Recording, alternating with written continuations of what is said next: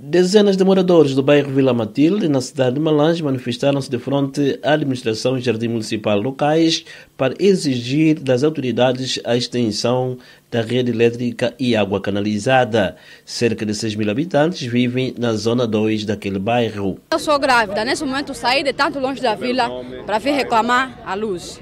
O meu nome é Irina.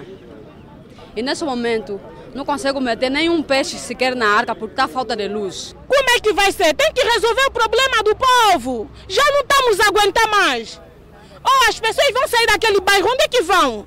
O governador tem que revelar isso, tem que rever isso. Nós não podemos ficar assim. Ficamos surpreendidos como é que o povo que vieram reclamar é da zona 2, o PT está aí pô, na zona 5. Sobrevivemos por giradores, se caso não há girador, ficamos aí com a procura de velas por aí.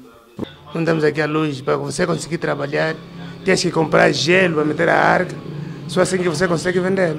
Queremos uma resposta digna, segundo aquilo da conversa que nós obtemos com o seu administrador. A Empresa Nacional de Distribuição de Eletricidade pede paciência.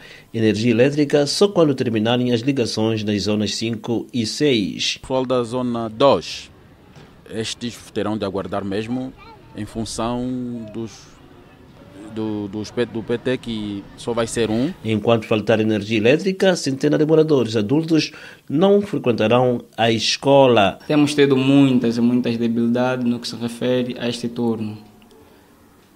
Já tivemos mais de 200 pedidos né, de moradores locais querendo ter, ter uh, as aulas no período noturno. Isaías Soares Malange para a Voz da América.